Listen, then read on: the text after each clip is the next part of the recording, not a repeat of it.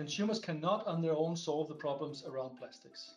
That requires policymakers and business to take action and responsibility to reduce environment and climate impacts. But consumers can do something. They can reduce their use of single-use plastic, for example, plastic bags, plastic cups, and plastic packaging.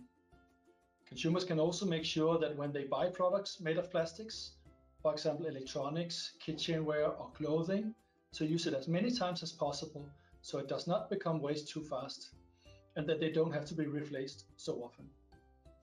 Consumers can also make sure they don't leave plastics anywhere in the environment, on land or in the sea or in rivers. And if they live in a country where plastic sorting is possible, to sort plastic from the household waste to create an opportunity for recycling. Consumers can also be active locally in, for example, picking up plastic and other trash from parks, beaches, and harbors, either by themselves or in, in local groups.